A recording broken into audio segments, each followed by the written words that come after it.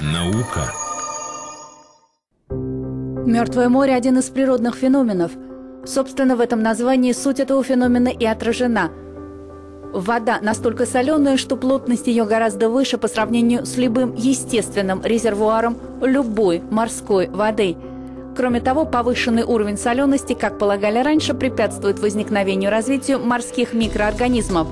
Совместные исследования в акватории Мертвого моря ведет коллектив океанологов из Германии и Израиля.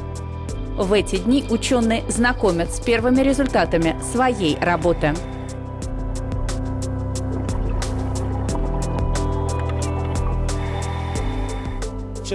Проблема в том, что совершать погружение довольно сложно. Вы в обычном снаряжении не можете достигнуть нужной глубины, так что требуется брать с собой дополнительный груз, чтобы преодолеть силу выталкивания.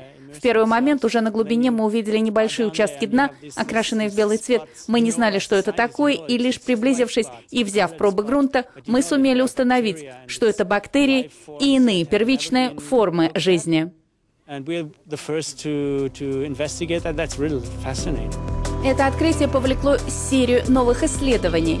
Как получилось, что эти микроорганизмы приспособились к существованию в чрезвычайно агрессивной морской среде и какое количество времени бактериям потребовалось, чтобы захватить довольно небольшой ареал морского дна.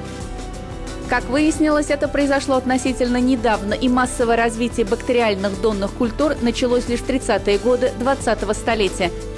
Исследования ведутся на побережье, где глубина не превышает 30 метров. Предполагается, что Изучаемая акватория Мертвого моря может быть расширена будущей весной.